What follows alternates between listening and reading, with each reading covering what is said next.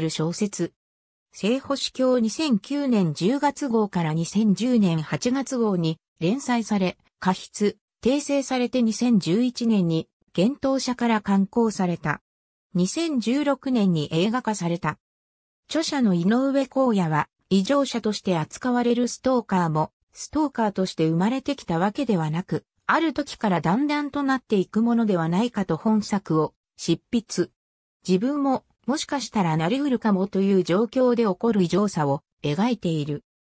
2016年には映画化もされるが、そのきっかけは国内外問わず数々の映画賞を受賞してきた名称、東洋一が本屋でいろいろな小説の題名を眺めていたとき、この本だけは題名を見ても内容がわからず購入して読んでみたところ、様々な解釈が持てる余白のある内容に惹かれたことだった。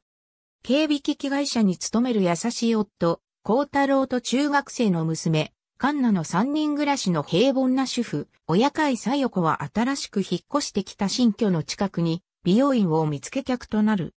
そこで出会った担当美容師の山田海人に髪をカットされ、帰宅後、カイトからお礼の営業メールをもらったことをきっかけに、さよ子の心に変化が芽生える。営業メールに返信を続けたり、美容院での会話を頼りにカイトの自宅を突き止めたり、次第にカイトへの執着がエスカレートしていくさよ子。カイトの彼女、ただも巻き込み、次第にカイトも危険を感じ始めていく。2016年9月10日公開。第29回東京国際映画祭、ジャパンナウ部門で上映された。ありがとうございます。